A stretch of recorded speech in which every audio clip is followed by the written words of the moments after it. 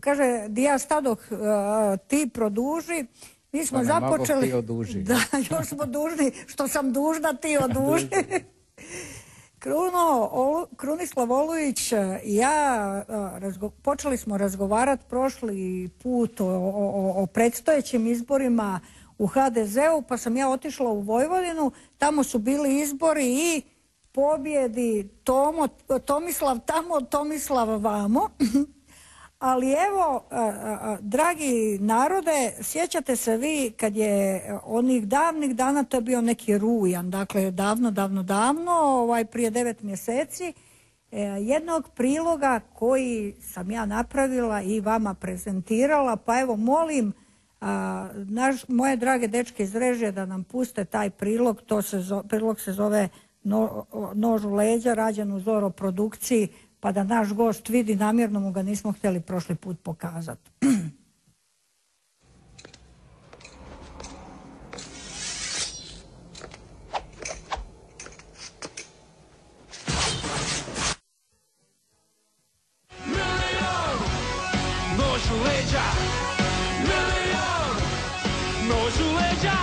Možemo otvoriti sve što imam, možete doći u moj stan. Kafu mi draga i speci. U trenutku kad sam postala e, predsjednica vlade Republike Hrvatske, a znate da je Tomislav Karamarko postao prije toga član vlade, e, ministar, nestranački ministar mhm. u vladi i moram reći da u trenutku kad sam preuzela e, vodstvo stranke i vlade je bilo pritisaka i sad ću to prvi puta reći da donesem odluku i da Tomislava Karamarka smijenim i da više ne bude član vlade.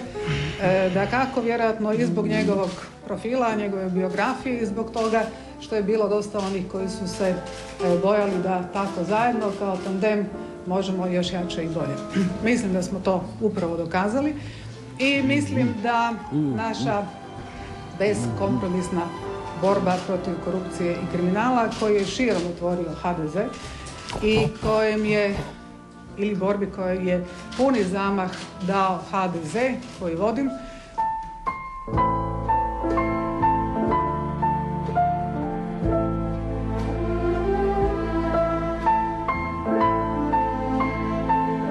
Ja sam naime prastari član Hrvatske demokratske zajednice, jedan od osnivača, dakle negdje tamo od 8. 9. mjeseca 89. godine.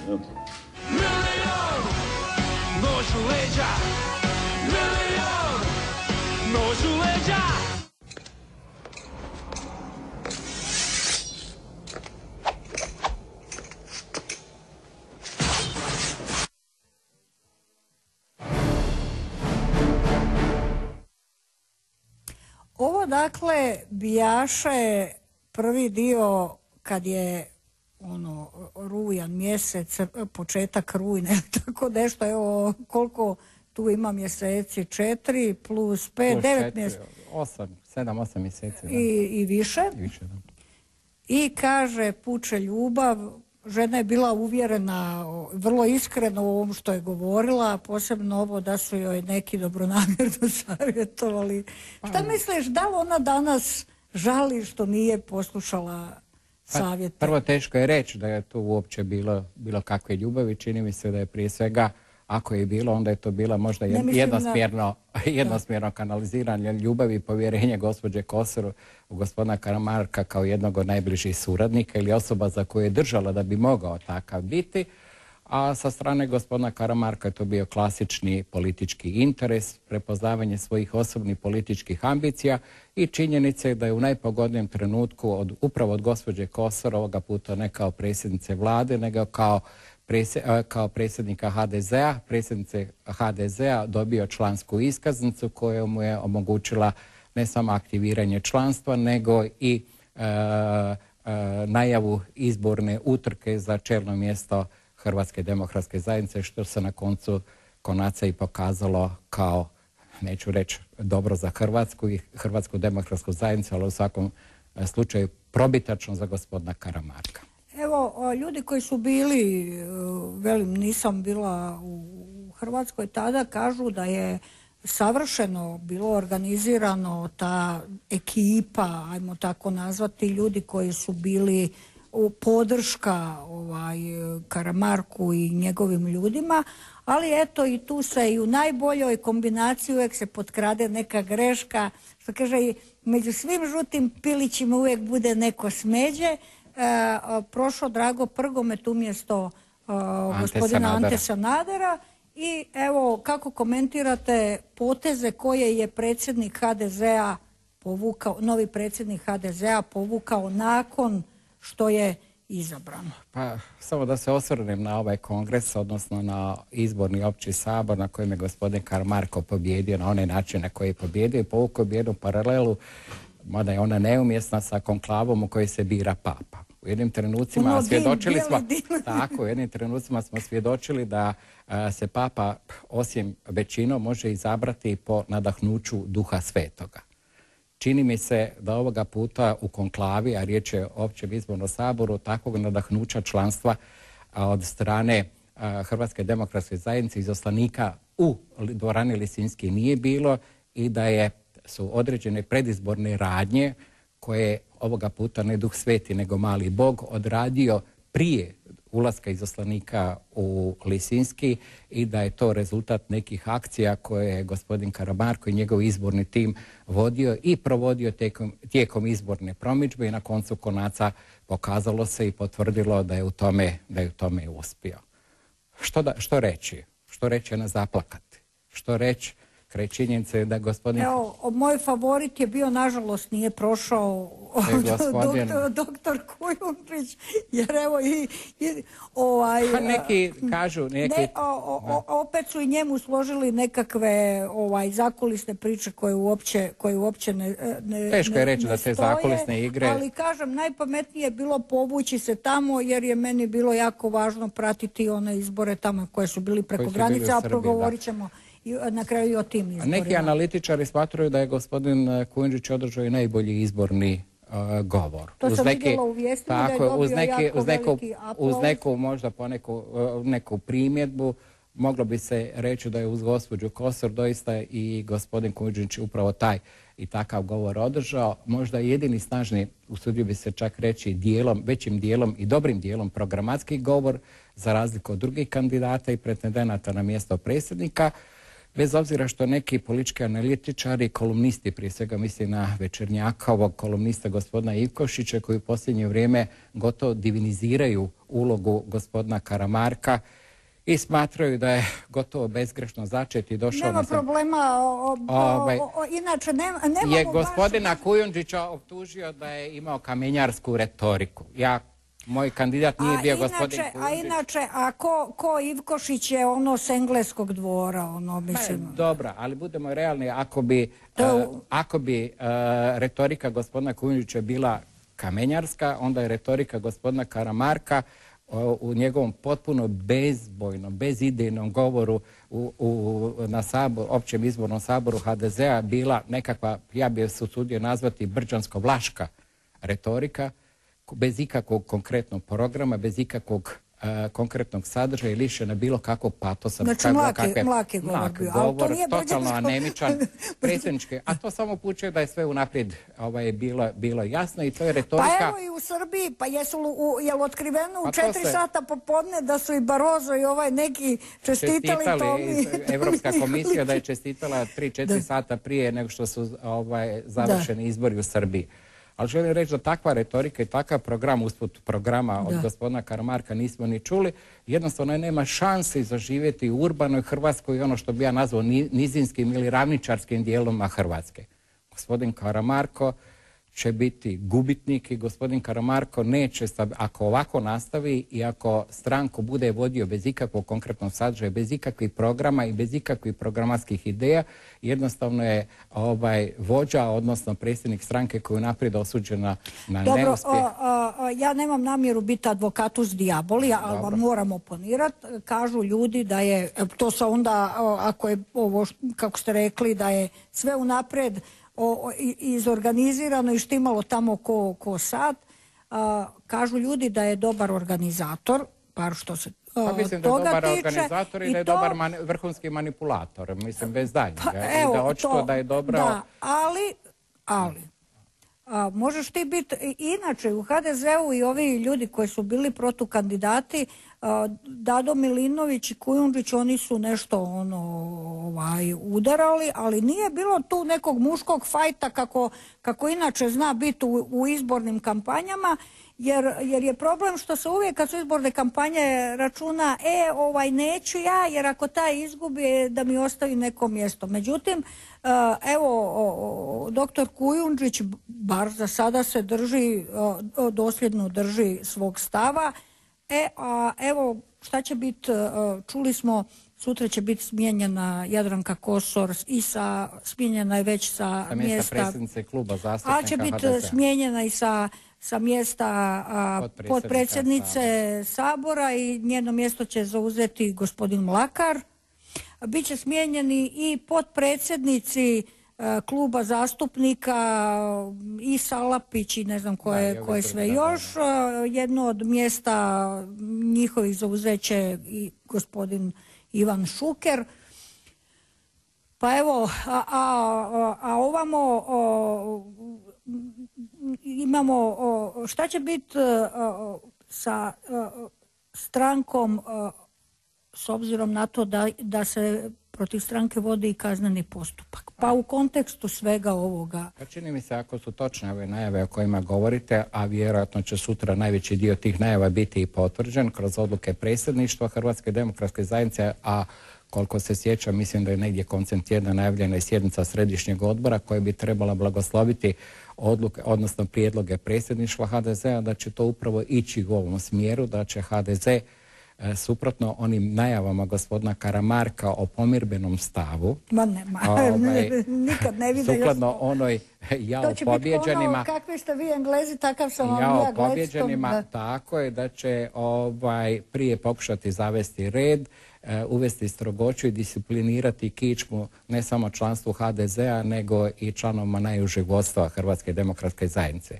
Mislim prije svega da će marginalizirati gospodina Drago Prgometa kao zamjenika predsjednika jer je on došao mimo njegove volje iz reda kandidata gospodina Kujundžića i da je njemu namijenio sudbinu Maje Freundlich svoje vremena kao zamjenice predsjednika gospodinu Sanaderu i da će ga na najbolji mogući način marginalizirati, da je već kooptirao protivno izbornoj volji izaslanika gospodina Sanadera u predsjedništvo, Antu Sanadera, sa dosta čudnim obrazloženjem, a da je protivno nekim očekivanjima da bi gospodina Kujundžića mogao kooptirati u predsjedništvo Hrvatske demokratske zajednice, to nije učinio i vjerojatno takvu namjeru nema.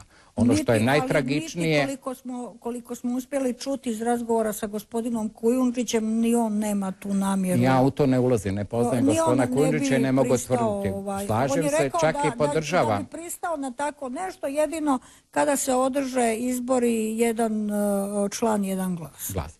I na koncu konaca najava da bi gospodin uh, Milijan Brkić, zvani Vaso, uh, policajac od formata, bivši zamjenik ravnatelja policije, dakle jedan od najbližih suradnika uh, gospodina Karamarka. Je to nešto jezero? No... A mislim tamo o otkrivanju Leša pokojne i tragično nastradale Ane Bilić i pa tako dalje, ali ne bi sad o tomu. Ali mislim da je riječ o osobi koja uživa iznimno povjerenje, povjerenje gospodina Karamarka i nije u redu da u, ako ćemo provoditi daljnji proces demokratizacije, E, HDZ-a kao što gospodin Karamarko se zalaže ili se barem trebao zalagati da jednu takvu osobu sa jednom takvom reputacijom e, dovede na mjesto glavnog tajnika, a to je glavni operativac. E, glavni operativac stranke. To znači da će on provoditi politiku gospodina Karamarka, da će disciplinirati cjelokupno članstvo, stranački vrh i da D od demokracije u Hrvatskoj demokratskoj zajednici više biti neće i da demokracija pitanje je li ikada živjela u HDZ-u, osim kratkom razdoblju gospođe Kosor, hoće li uopće više demokracije, demokracije biti? ja se čudom ne mogu ne, načuditi zašto nisu kooptirani Ivan Jarnjak i Andrija Hebrang, koji su ga koji su Karamarka podržali, Ovaj, možda je odluka izbornog sabora baš značila i veliku podršku gospodinu Karamarku jer bi mu takvi kadrovi poput kompromitiranih članova kao što su gospodin Jarnjak, Andrija Hebrang ili neki drugi članovi bili samo na teret i njihova percepcija u javnosti je apsolutno neprihvatljiva. Ali dobro, a, ko su, a ko su ovi u predsjedništvu? Za dio tih ljudi uopće niko, niko nije čuo. A to je pametna kadrovska politika gdje najveći dio članova predsjedništva, ako ste pratili,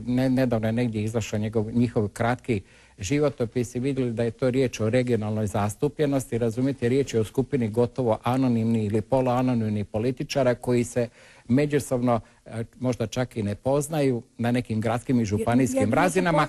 Vrlo teško će.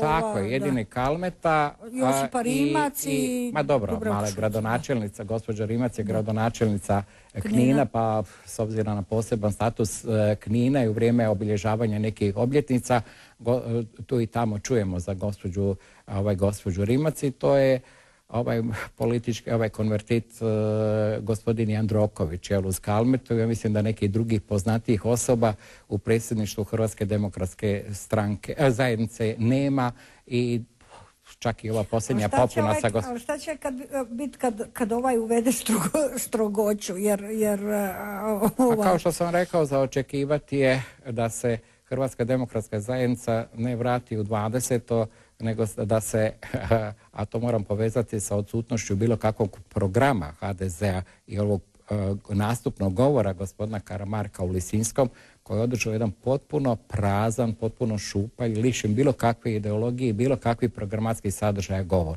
Ako bi taj program HDZ-a mogli sažeti, e, što izvire iz izlaganja gospodina Karamarka, onda su to četiri ključne točke. Prvo, jedna potpuno jedna nebuloza o nekakvoj novoj hrvatskoj neovisnosti, drugo utemeljeno na novom hrvatskom domoljublju, treće e, ovaj, o kroatizaciji, hrvatizaciji HDZ-a i četvrto HDZ-u bez lopobluka. Pa to je ono što smo slušali u njegovoj izbornoj kampanji i to je ono da nijedno od tih ključnih elemenata svog navodnog programa nije obrazložio, a jednostavno ih nije ni u stanju ovaj, obrazložiti jer su e, vrlo proturječi, međusobno su kontradiktorni i neke stvari kao što su sintagma o novoj hrvatske neovisnosti nemaju čak ni konkretan sadržaj, ni ga mogu imati.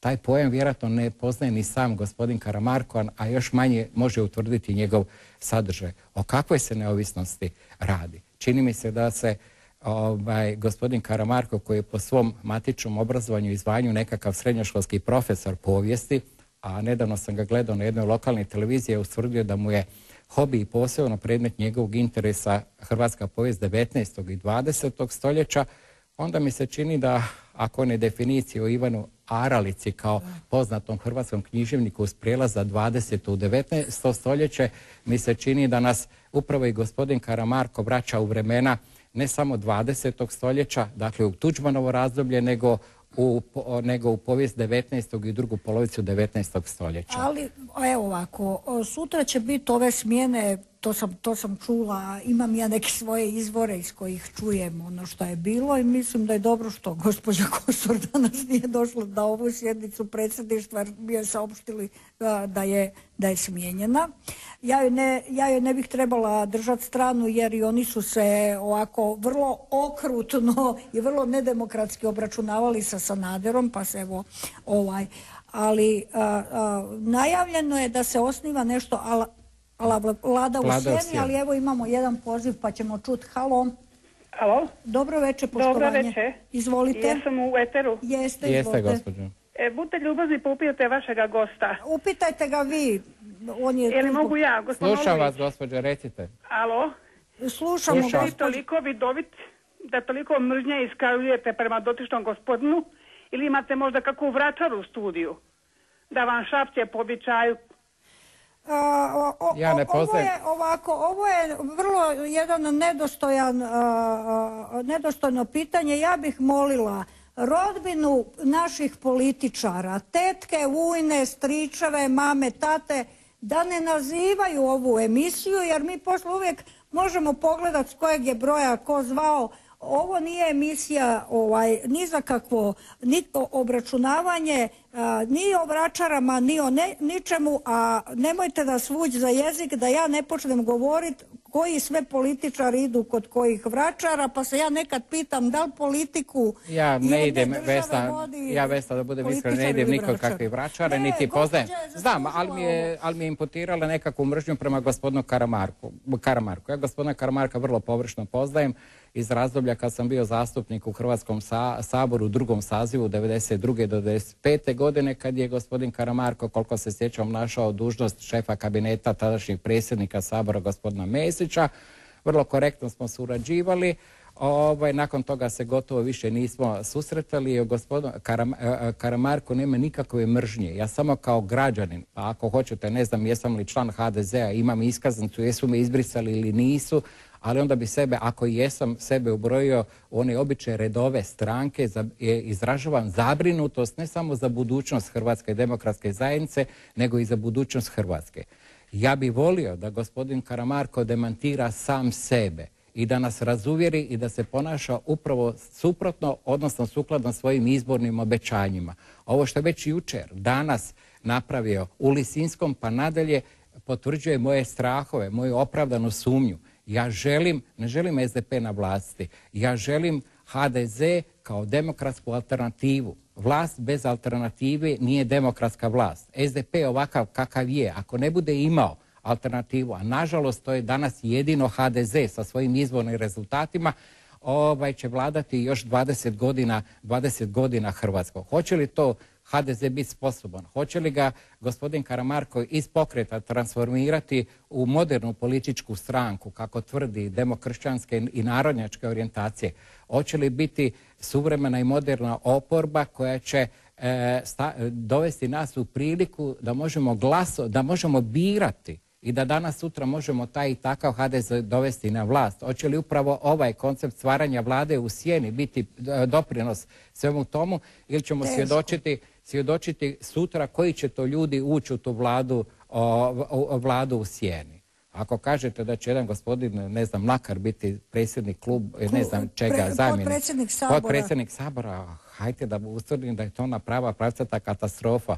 Ako će se honorirati ljudi koji su do jučer izdavali i da je izdaja nešto čega se kulturan civilizirani svijet treba sramiti, danas kod nas Hrvata honorira i da jedan Ante Sanader koji se zaklinju u Jadranku Kosor mimo izborne volje Hrvatskog ovoga izbornog sabora treba kooptacijom doći u predsjedništvo Hrvatske demokratske zajednice, onda oprostite, to je vraćanje nekih dugova, nekih preuzetih obveza.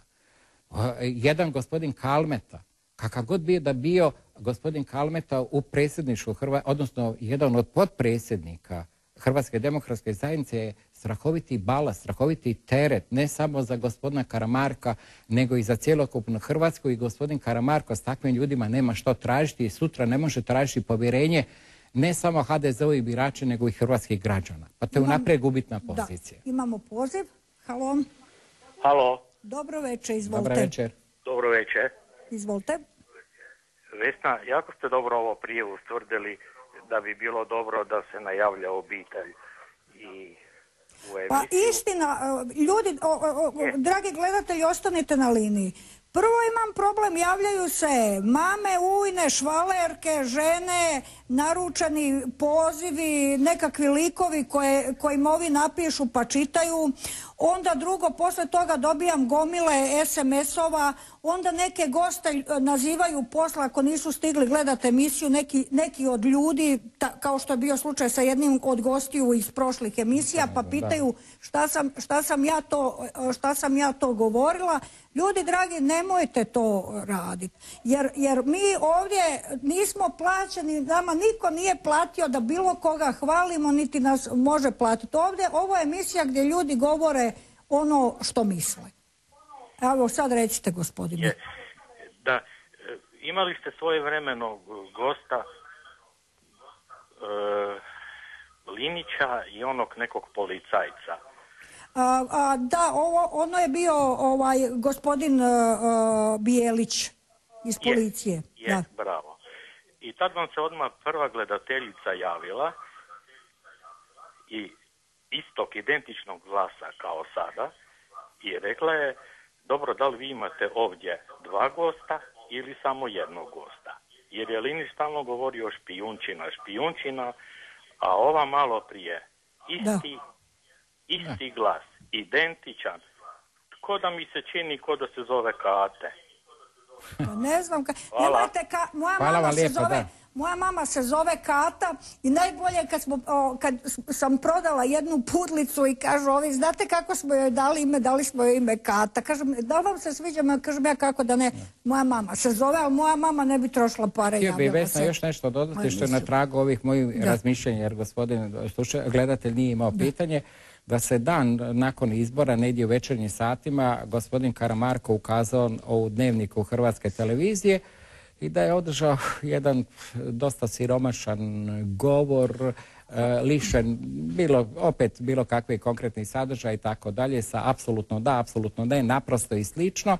I tada je ustvrdio jednu katastrofalnu stvar da je Hrvatska demokratska zajednica nije oporba u Hrvatskom saboru i da je propustila ne prvi sto dana nego čak pet mjeseci. Uh, oponirati uh, SDP-u i koalicijske pa Ne samo da je sad, ja jedva čekam njegov nastupni govor u Hrvatskom saboru i ja molim Boga da me gospodin Karamarko demantira. Ja ću se sutra gospodinu Karamarku ispričati ako sam u krivu. Ovdje, ću doći ispričati se, ali želim reći sljedeću stvar, to je da gospodina Karamarka do jučer u Saboru gotovo nisam ni vidio, a nisam ga čuo ni govoriti. Ako je netko odgovoran Razumijete?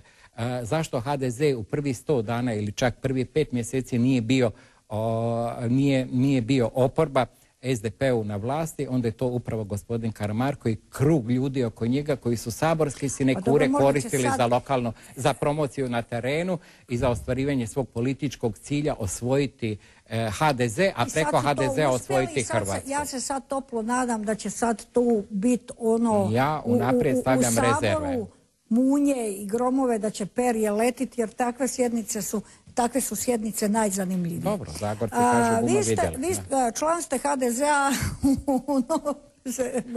možda uskoro u nekakvom statusu mirovanja. Vraćen sam negdje početkom 2000 godina odlukom Visokog častnog suda. Da. Pretpostavljam da sam još član. E, dobro.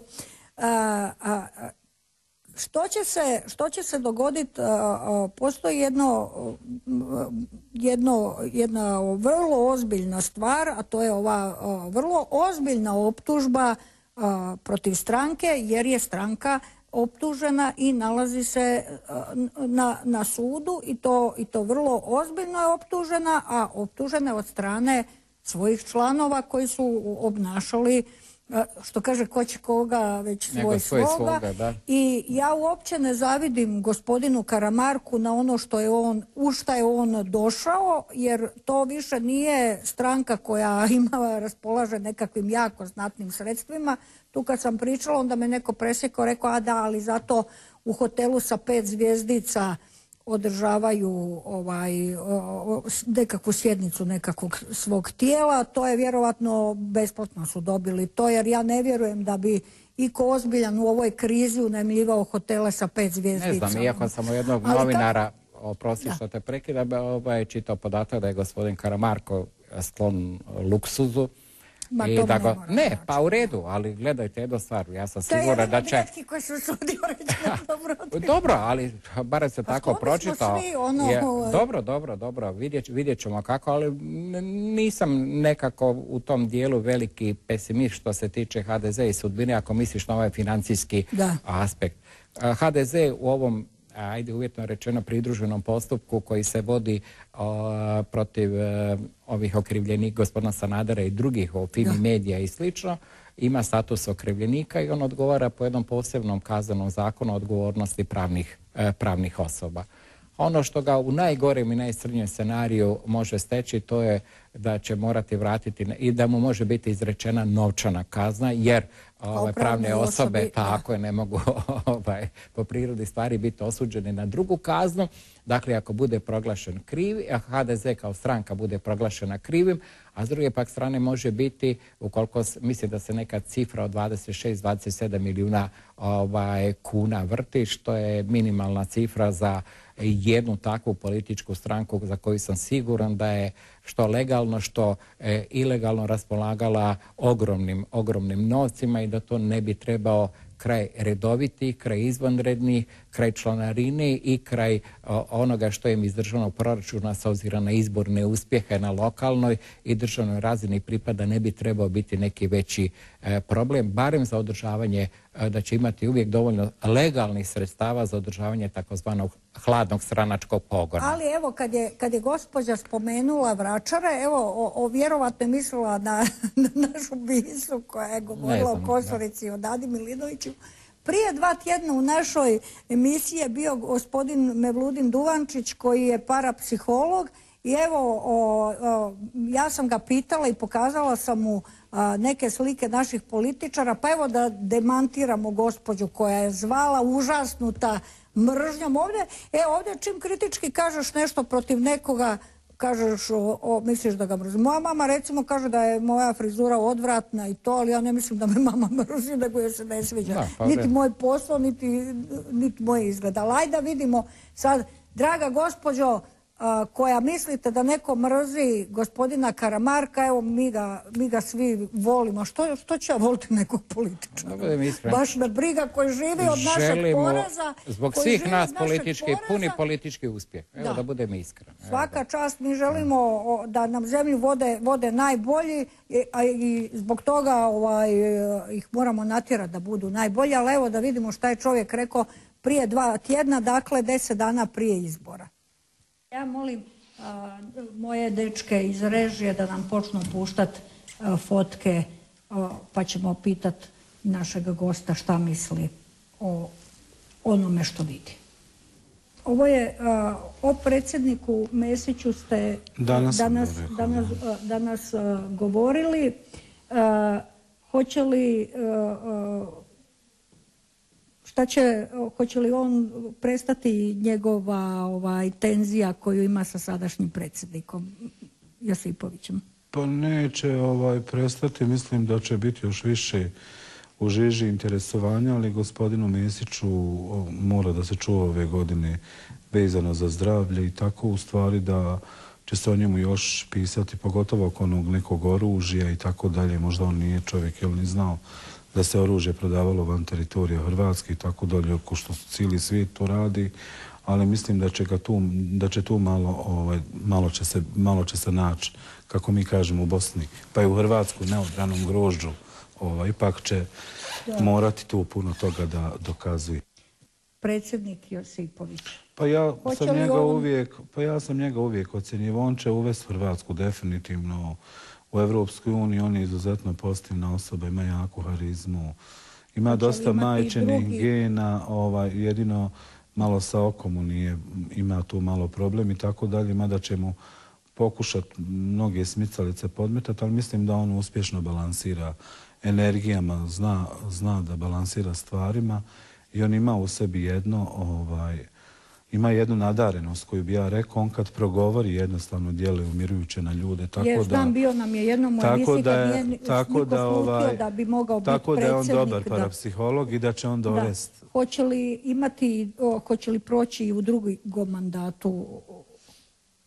Pa ja, da vam kažem, nisam se bazirao na to, ali on će se i dalje baviti politikom i dobrim dijelom on će proći u drugom mandatu. I tu će se pokazati veliko zadovoljstvo. Da vidimo sljedeću sliku. Ovo je e, vlada Republike Hrvatske. E, mnogi kažu da se neće održati do kraja ovoga mandata. Hoće li nas, dokle će nas dovesti ova vlada? Ili dajte sliku premijera, dajte sljedeću sliku, dečki. Dobro, Milanović sam isto dosta pisao. Mislim pa mislim da, par znate šta ljudi, da. Znate, nije niko sve mogući, nije niko fenomen. Mislim, ovo nije da čovjeka branim, nego sam i prije davao o njemu mišljenje. Čak sam rekao da će on pobijediti na izborima i na Novoj TV i u drugim medijima, ali s druge strane hoću da kažem da on ne može sve sam. Nažalost, prethodna vlada je uradila jako puno loših stvari i znate, ne može se ne kao ni ja, ne mogu ja za minutu, dvije ili preko noći nekome pomoć da, on izađe iz svoje krize. Tako i on isto ne može, on pokušava lavovski da se bori, ali ta vlada će se vrlo teško održati, zato što on ima upravo jedan krug određenih ljudi oko sebe koji rade negativne stvari oko njega. Znate, prethodna vlast, znači, koja je bila, koja je tolike godine vladala, ovaj, nažalost, moram da kažem da je tu dosta bilo negativnosti, neispravnosti, gdje će to još više ovaj, uzurpirati građane i javnost, pa čak recimo, skoro sam nešto analizirao malo gospođu, isto opet Jadranku Kosor, pošto sam ja rekao da će ona biti u, u, sukobu i tako dalje, ali ajde kad dođemo do njenih fotografije. Idemo dalje sa slikama. Ovo je gospodin Mladen Bajić, državni odvjetnik. Neko je u šali rekao, on je bio ovaj mandatar vlade Republike Hrvatske. Pa ja mogu da kažem neke njegove osnovne karakterne osobine. Dosta je samovoljan, samoinicijativan, jeste inovator i poprilično inteligentan.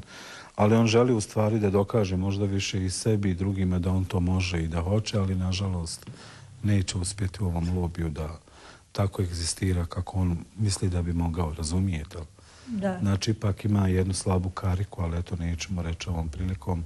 Ima jednu slabu kariku gdje će ga pokušati na neki način izbaciti iz takta da on ne bude to i da ne radi taj posao dovoljno dobro zašto je čovjek jel, elokventan, zašto je čovjek plaćen. Možda će, da. idemo, idemo, idemo dalje. Pa o njemu sam puno zaista pisao i pričao i prije četiri godine. Da vas pitam, kolika je, ima li dalje njegove prisutnosti u HDZ? Evo, naravno mi ne možemo govoriti o, tome kako će on proći na sudu jer to bi bilo biješanje u sudski proces. Pa dobro, pitajte mene ako evo, vi nešto. Pa, da, evo, pa ne, ja sam već razgovarao, mislim već prije dvije godine sam dao izvije, prije tri godine i tako dalje. Pa naravno da čovjek ima usku suradnju dan danas i da svako ima svoj određen krug ljudi s kojim radi, s kojim surađuje i tako dalje, ali vidim nažalost da mu u zadnje vrijeme, jel, vjerovatno svima okreću leđa, pa čak i oni da se svako boji sebi, međutim, ovaj, on će za sobom povući još puno ljudi imenovače. Neće, još, još uvijek se on drži, on je još uvijek um, u nekoj apatiji, malo je pod antidepresivima i tako dalje, jel čovjek, ali jednostavno, naravno treba proći vremena da se dokaže da li je neko kriv ili nije, ali ovaj, jednostavno vidim da nažalost on će sve više i više tonuti, da će mi sve njegovi saradnici malte ne ovaj, sve više i više ovaj, okretati leđa. Naravno, za krivicu nije dovoljan jedan, nego najmanje njih deset koji će se spominjati u narednom periodu. Tako da nije gospodin Sanader samo tu. Ima tu još dosta ljudi koji će se u javnim medijima ovaj, pominjati. idemo dalje. Izbori su u, HDZ-u. Gospodina Karamarka spominju kao najvećeg favorita ovih izbora, izborne kampanje u HDZ-a. Pa dobro, ima tako pozitivnu harizmu, malo je na svoju ruku, tvrdoglav je. Ono što kaže, dosta je direktan i otvoren kao osoba i kao ličnost i mislim da on u stvari, više vidim neke tu druge ljude koji želi da ga istaknu, pošto nije baš toliko bio poznat ni javnosti, ni medijima i tako dalje, koji nema tak, čak nešto možda ni, ni, ni prljavo loše iz prošlosti, da kažemo. Ja vidim ipak njega tu kao jednog pijuna. Mislim da on još uvijek, bez obzira na ovo čime se on bavi, znači još uvijek treba da, da naravno, vjerovatno će s vremenom sazrijeti u politici. Mislim da će se on truditi svim silama da bude jel, izabran u HDZ-u i da on vodi tu stranku i tako dalje. I mislim da će tu dosta on ovaj, uspjeti u tom nekom segmentu. Znači, on je ono... sad 20. Pa ovo 20. nisam, ja govorim za daljnju perspektivu iz stranke kao HDZ-a i tako dalje, ali vidim da će on dobrim dijelom tu dosta uspjeti i da će onaj proći. Dalje? A o njoj sam jako puno pisao i da će se Josip... Pa evo i ona je, i ona se natječe za ovaj, predsjednik. Pa ona se natječe, ona, mislim, ja ne mogu ništa ovaj da kažem, jel, gospođe Jadranke Kosor, ja mogu samo da kažem da ona zaista definitivno gubi tlo pod nogama i da ona želi samo da se održi na taj način da bi ona sebe nekako malo jel više osigurala i pokušava da iz petnih žila jel da podigne tu stranku i tako dalje. Naravno, ja nisam ni sudac, niti tužitelj, neću, ne mogu nikoga optuživati, ali vidim da ona bi čak najviše volila u nekom segmentu možda da se povuče, ali će drugi tražiti njenu smjenu, pa čak i njeni bliski saradnici da ona jednostavno napusti politiku i tako dalje. Ali vidi se da ima jednu harizmu, dozu straha u sebi, nesigurnosti, boji se i tako dalje. Tako da će povezivati sa raznim javnim ličnostima iz iste stranke i bit će raznih lobija, bit će, bit će jako gusto, zapetljano i tako. Dalje. A, ovo, je, ovo vam je kolega dr. Milan Kujundžić, on je također kandidat za predsjednika HDZ. Pa dobro, Milan je onako dosta prizemljena kao osoba i pa koji svi Pa dobro, nisu baš svi ni liječnici stabilni, ali eto pozitivan u dobrom dijelu i mislim da je tako jedan od većih favorita. Vidim njega i ovog prijetodnog gospodina mlađeg da će njih dvojica biti veći, najveći favoriti tu u izboru. U, u da, da, u krugu, da, ovaj, da. A s druge strane, mislim da mu po mom ovome što ja osjećam, ipak ga vidim više kao u zdravstvu nego kao političar. I mislim da neće dugo izdržati tu u politici. Da neće dugo opstati, da neće se dugo održati. Dalje. Ovo je također liječnik ginekolog. I on je isto kandidat, kandidat za predsjednika HDZ. Da. Pa mislim da, nažalost, on je imao dosta toga iza sebe i nažalost puno će biti optužbi protiv njega, znači bit će dosta negativnih struja protiv njega i tako dalje, ali ja ga uopšte ne vidim kao predsjednika, mislite HDZ-a, jel? U perspektivi, u budućnosti, mislim da će taj jedan krug ljudi određen, oni će sami između sebe kad ovo sve prođe, mm padat će razne optužbe i tako dalje. Mislim da će građani ga sve više bojkotovati u perspektivi u budućnosti da nije dovoljno uradio ne, i kad je samo zdravstvo u pitanju, nego općenito sve. I dobro, od ovih koje smo vidjeli polako, o, nam još jednom ih izlistajte. Koga ćemo dakle vidjeti u drugom krugu? Gospodin Karamarko, da. Dobro. Dalje. Jadranka. I ovaj će gospodin, i dvojica će biti u, u najvećoj žiži, znači tu će biti oni I... pokušavaju sad na neki način, znači da se malo izveju, da se malo izdignu, ali će biti obstruirani jedan i drugi od strane starih ovih, da, da kažemo, HDZ-ovaca i tako. Nisam baš nešto posebno analizirao ih u zadnjih dana, tako da sam politike mi puno da kažem, dosta i u Bosni me pitaju, i Srbije me zovu, da, i znači, svijeta. Znači, drugi krug da. ova dvojica, imaju kladi, jer pošto su otvorili da. kladionice. Evo da zaokružimo, evo za gospođu koja je vikala za vračara, evo, evo šta su, ovo nije vračara, gospodin je parapsiholog, donio je diplomu, od, on je član a, američkog, francuskog i ruskog društva parapsihologa i to, i to vladinog, liječnik je po struci, dakle to nije neko ono, hoćeš da ti gatam, ono, ovaj, dok smo gledali Kruno je rekao svaka, svaka čast. Svaka. E sad, isto tako je bilo posle ove emisije za ove druge za koje je rekao da neće proći, isto su mogli ljudi nazvati i reći, e, to vi sugerirate jer, jer mrzite te ljude. E, iznimno sam fasciniran, prilog, odnosno emisiju nisam gledao i da. moram priznati gospodinu Duančiću dužno poštovanje da je pogodio, jel, da. mislim Čim se e. rukovodio to ne znam, ali je dobro percipirao stvari i dobro pogodio. Jel? I na koncu konaca tu dvojicu kandidata kojima je govorio upravo smo i vidjeli u drugom da. izbornom krugu. Jer čovjek živi u Bosni, dakle u Doboju, liječnik je, tako da... Evo, dragi Kruno, da zaokružimo. Prvo i prvo, da objasnimo gledateljima, mi nikog ne mrzimo, analizirati nekoga, reći svoj stav o nekom ne znači da vi tog čovjeka mrzite ili volite. Mislim, stvarno nemam razloga da volim jednog političara ili, da mrzim. U stvari više imam razloga da ih mrzim ako ne vode dobro državu, a žive od naših, od naših novaca.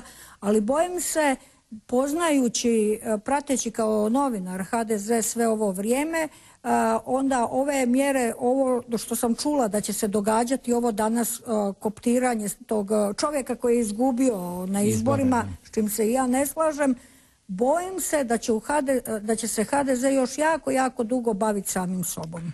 Pa mislim da se u prvo vrijeme gospodin Karamarko bavio HDZ-om, a da je sad nastupio trenutak kada se HDZ mora baviti gospodinom Karamarkom. A svjestan sam što sam izgovorio i bojim se da gospodin Karamarko za taj takav HDZ kao populistički pokret još uvijek nažalost neće biti dobro dobro rješenje. S čim ćemo se suočiti, to će neposredna budućnost koja je pred nama, jel tako, najbolji ili najgori mogući način potvrditi ili demantirati. Oni prvi potezi o kojima smo zajedno govorili, moram priznati da su zabrinjavajući i posve obes, obeshrabrujući i da ne bude nekakvu nadu, nekakav drugčiji HDZ u neku promjenu stila i promjenu onog autokratskog načina vladanja kako pamtimo iz Tuđmanovog i Sanaderovog razdoblja. Na najboljem putu je da gospodin Karamarko te utabane staze svojih prethodnika nastavi i mislim da demokracija još za, jedan e, za još jedno dulje vremensko razdoblje neće, neće ovaj, vladati unutar, unutar HDZ-a. Eto. Hvala na gostovanju. Mi se vidimo prilike do prilike uvijek nadrapamo kad, se, kad, se sretnemo. Da. Ali, ali kad se sretnemo idemo na kavu i mi kad se sretnemo mi pričamo o sasvim finim stvarima, o knjigama, filmovima i ostalom. Ja obavezno ižicam besplatno neki pravni savjet. E, Kruno, hvala na gostovanju emisiji. Evo, dragi gledatelji, Ostanite s nama, pogledat ćemo jedan blok reklama, onda ćemo nastaviti još malo političke komentiranja, onda ćemo vidjeti našeg Denisa i konačno kako je bilo na, na, na ovaj festivalu Gange, a onda ćemo vidjeti Vračaru, što, što je spomenula gospođa. Gospođa, da.